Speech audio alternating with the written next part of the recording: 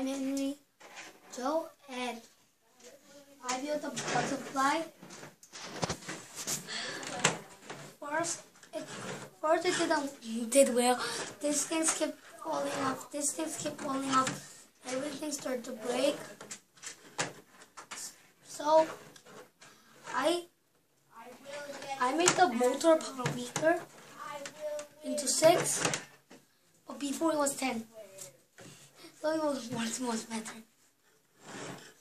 And I did the on going down on motor one and only one second or less, only number one on the timer. Because because when you, you put five as same as the going up one, it it it go bump to the bottom to lost because gravity helps it already, so you don't long and you must don't have to make power strong. And I got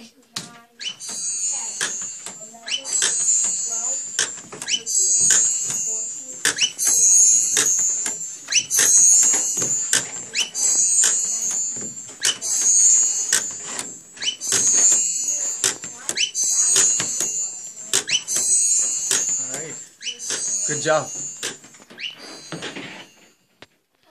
Thank you again.